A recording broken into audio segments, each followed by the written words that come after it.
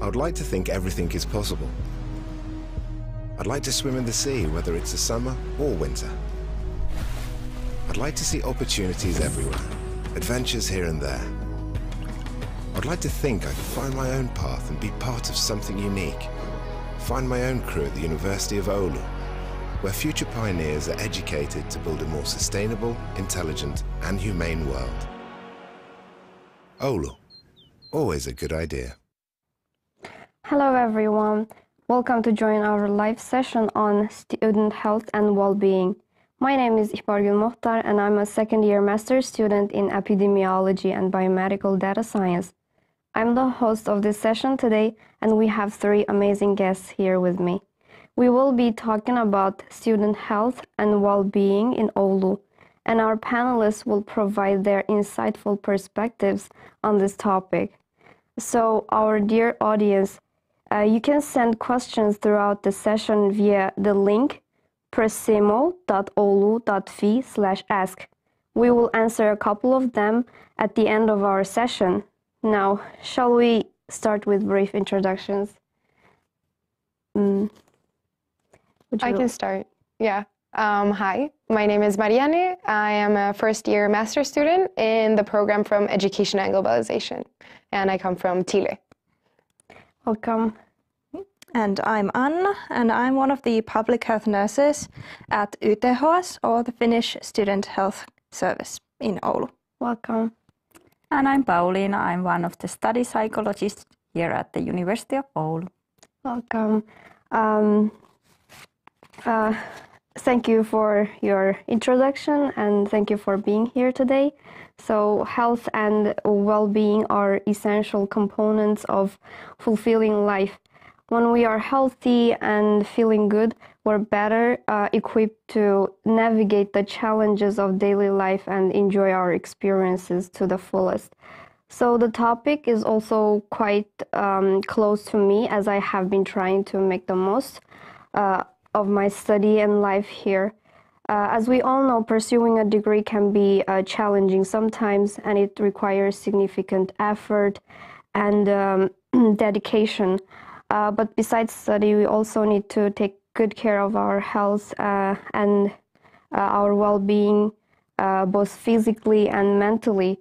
So um, one of the things that have helped me maintain a balance between my academic responsibilities and my health is the role as a well-being tutor at the University of Oulu. So this is the program uh, which is under the Student Union OYY. Uh, there are uh, many activities uh, going on on a daily basis, uh, like they uh, range from sport, art, even to um, study skills sharing. So I have um, participated and organized a lot of activities, and uh, I also gained many skills uh, during those sessions and uh, gained friendship over there. So um, it is a really good experience for me. So um, uh, and I found that I become more productive in my study and uh, also uh, healthier at the same time. So uh, I believe um, there are many more aspects that we can share about health and well-being in this session as well. So uh, now I have a question to our study psychologist, Pauliina. Um, could you tell us uh, more about study psychologist services? In what kind of situations can study students approach you? Mm-hmm. Yeah, we offer special guidance for students uh, regarding uh, learning, uh, studying, and well-being. So, for example, a reason why you can book us time is, for example, if you have problems with time management, stress, stress-related issues, or motivation. That sounds good. And uh, do you have some tips for our students, like uh, how can they balance with their studies and our uh, other areas of life? Yeah, usually when we are stressed, we many times or often have thoughts like, "Oh, I cannot see to go to see my friends because I need to study for this mm. exam," or I need to keep studying or, or I will fail, I'm not good enough. And this stressful thoughts usually leads to behavior and situations when we kind of drop everything else from our life. So instead of going for your hobbies, you example just stay home and, and study.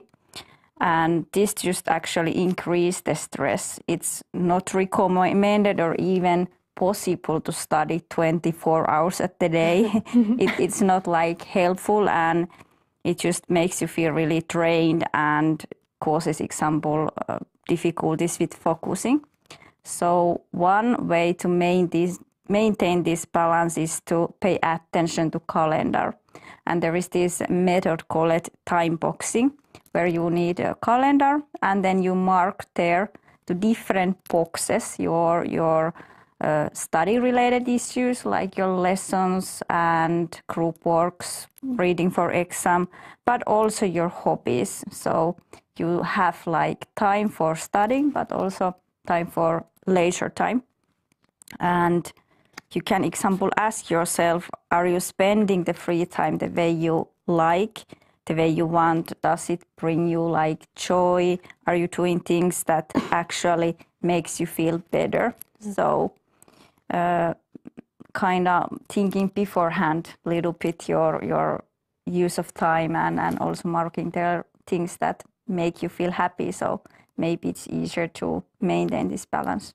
Mm. Yeah, I I strongly agree with what you said, uh, and I I think I am also benefited from this uh, um, like a calendar time boxing mm. technique. Uh, since the time I use it, I feel like my life becomes uh, more organized than before, and I can uh, I don't have to worry or uh, feel anxious about mm. what uh, I like anxious about. I have so many tests yeah. to do because my time is all arranged so well. Yeah, so that's. Um, yeah, that's like a very good tip. And by the way, I've heard that you also organize events and workshops for our international students to support their study well-being. Uh, could you tell us more about those? Yeah, we organize events and workshops. Uh, next semester, we will have, for example, workshop about time management and stress. And events usually includes also some nice activities like fat biking or uh, we learn together how to cope with the darkness that we have quite much here in Oulu. Um, and besides those, we have also Moodle courses that uh, teach you, example, more about study skills and stress management. That sounds good. So uh, students uh, can have many options to uh, make uh, their study and life much more balanced yeah. through these activities and courses, and that's a a really good thing to hear. Uh, thank you. And I have uh, some questions to our representative from the Student Health Services, Anna. Uh, could you uh, please tell us about the student health care services? Like, how can students get access to them? Um, so YTHS, or the Finnish Student Health Service, is one part of the healthcare system in Finland, and it's directed for the students in the higher education system, so universities and universities of applied sciences. And um, our services are for like the bachelor students and master students, so forth, uh, who are have been enrolled as present uh, during the academic semester. And unfortunately, this does exclude the exchange students, and they get their health services elsewhere. But um, our responsibilities are, as a healthcare provider, to provide health and medical care services, promote the students' ability to study and then also the well-being of the study environment and the student community. And we also work together with different uh, other health and well-being providers like student psychologists and teachers and so forth and um, to use our services, like I said, you need to have been enrolled as a, as present. You can't be an absent student and also use the services, and uh, you need to have paid the around 36 euro uh, service fee to Kela, which is the Social Security Service.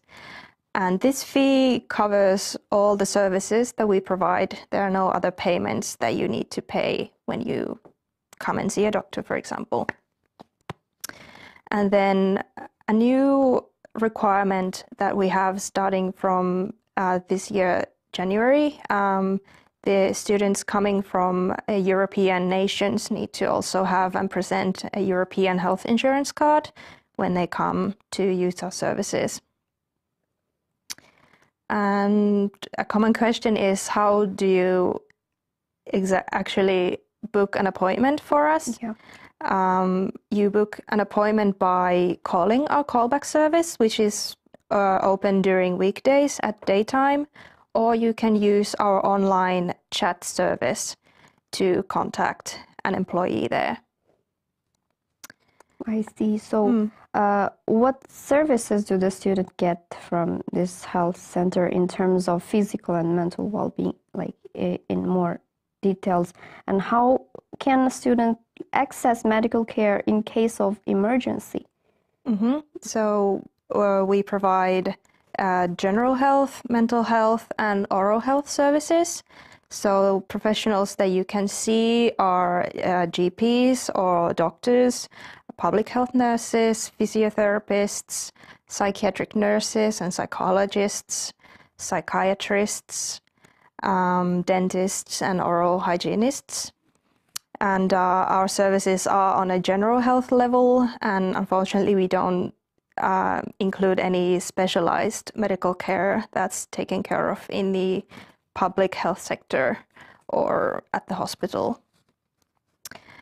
And um, like I said previously, uh, we are open only during the weekdays between 8 a.m. 4 p.m. So any issues you have outside of that, you need to go and see your local health center, for example. So we can't provide any night time or evening time or weekend appointments or urgent or emergency medical care, unfortunately.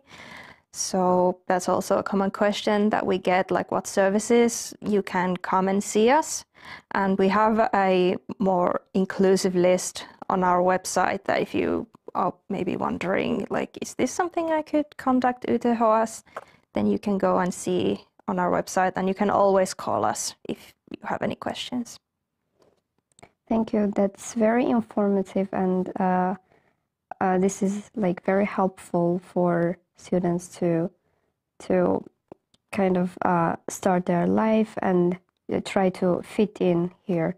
So thank you for your uh, for your answers, and I also have some other questions for to our uh, student ambassador Marianne. Uh, what has been your experience as a UniOulu student so far in terms of well-being? Well, I think um, before coming here to Finland, you hear that it's one of the happiest countries in the world. And I think one of the factors when I read about that was that they balance very well um, work and life. And in this case, study and life. That was my expectation. Um, and I think it's, it's it has been true for me at least. Um, I think that my study plan for my master's degree, at least, um, it does consider a lot of free time, leisure time. Uh, I have been able to manage well enough the time that I spend in the university in class, but also studying and having free time. Um, I've also been able to get a part time job to help pay for expenses, so that has been very good.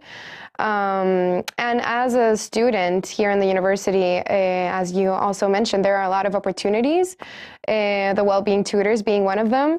I also personally took the membership from the UniMove, um, which is this platform for that has different types of sports where you can just um, sign up depending on your schedule. And I personally do Zumba every Monday with a friend, so you can meet new people there, and it helps you work out. And yeah, just it's a very fun time.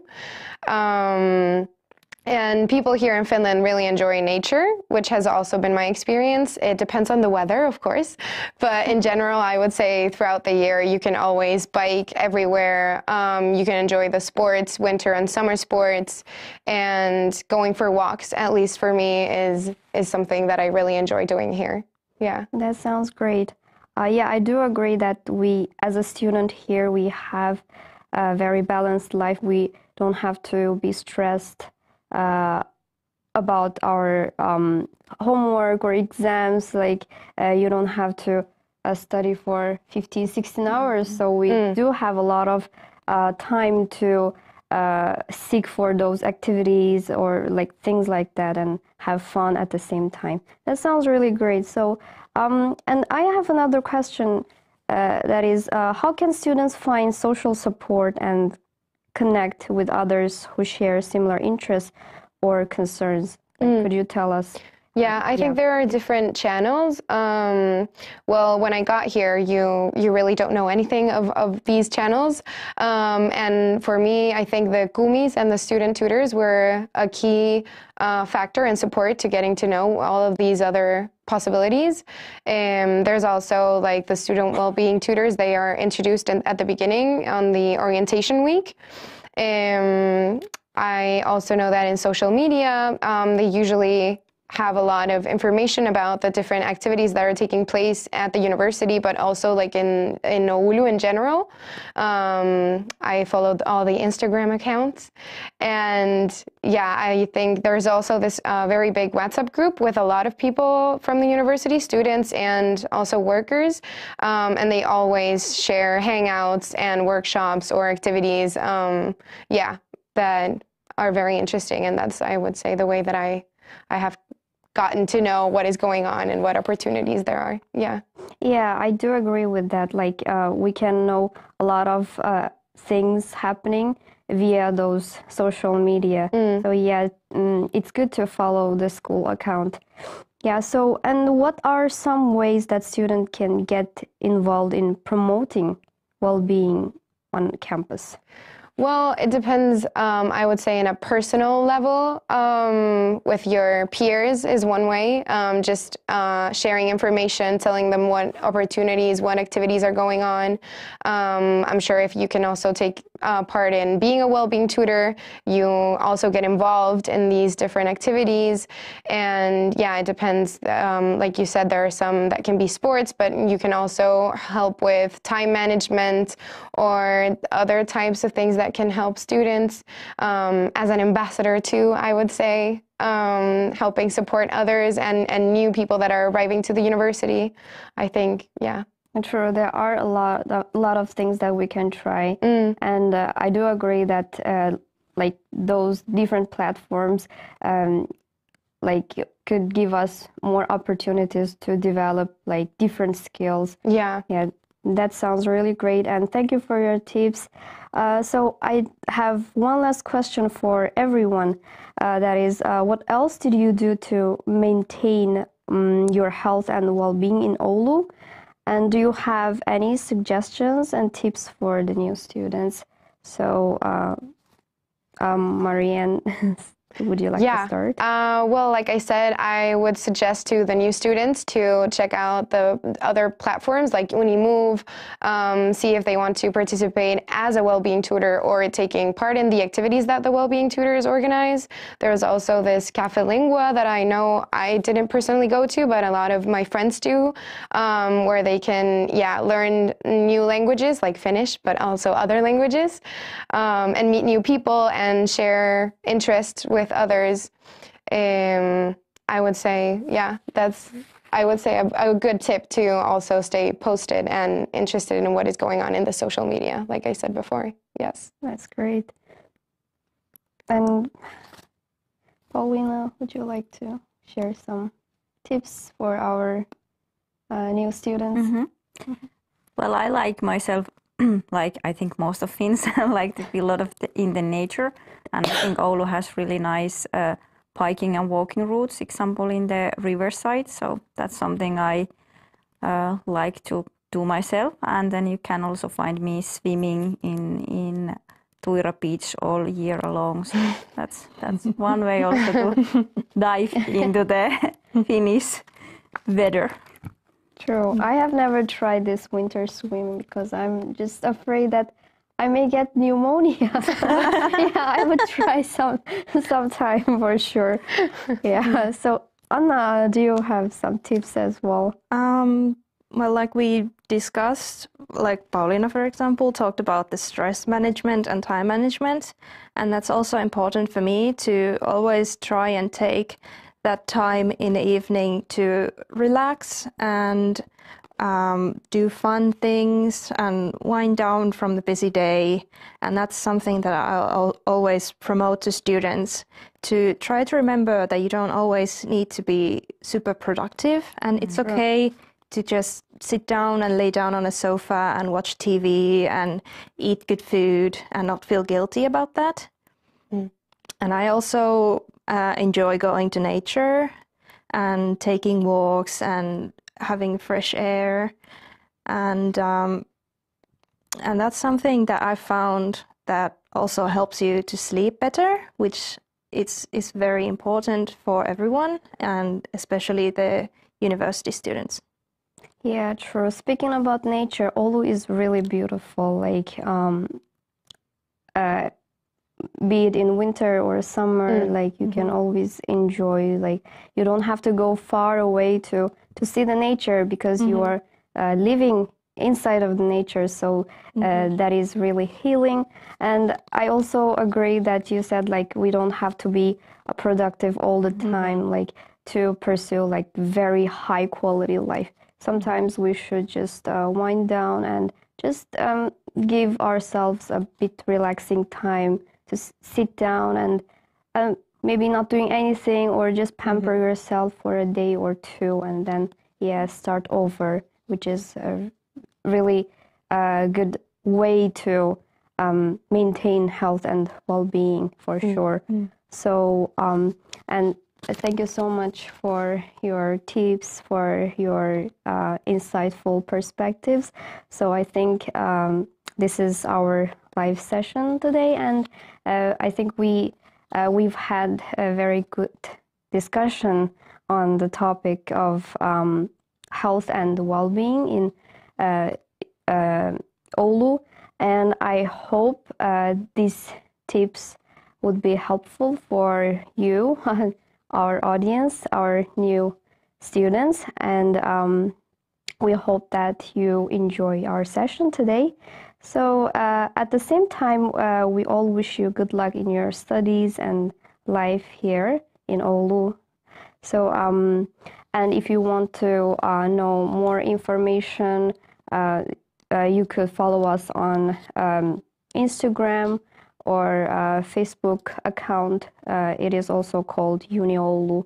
So, um, and our uh, other social media channels are available and the links will be provided. So thanks for watching and we hope to see you in new semester.